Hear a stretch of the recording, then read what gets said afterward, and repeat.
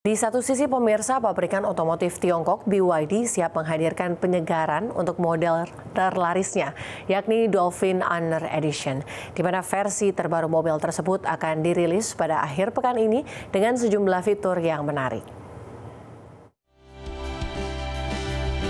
Pabrikan otomotif asal Tiongkok BYD siap memanjakan para pecinta hatchback listrik dengan penyegaran model terlarisnya Dolphin Honor Edition di mana versi terbaru ini dijadwalkan resmi meluncur pada 23 Februari waktu setempat dengan membawa sederet fitur menarik termasuk kapasitas baterai lebih besar serta varian baru di posisi termurah.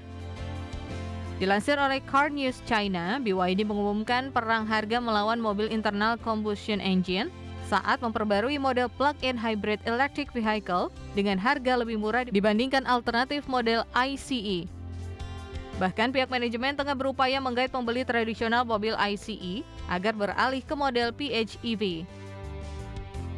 Sementara itu pembaruan Dolphin kali ini sekaligus mengindikasikan bahwa BYD tidak hanya akan menyodorkan perang harga versi PHEV, tetapi juga versi kendaraan listrik yang tengah bertarung lebih ketat guna mempertajam penetrasi ke level terbaru di tahun ini.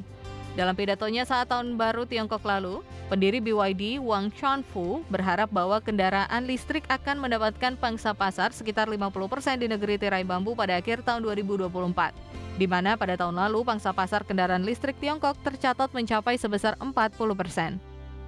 Berbagai sumber IDX Channel.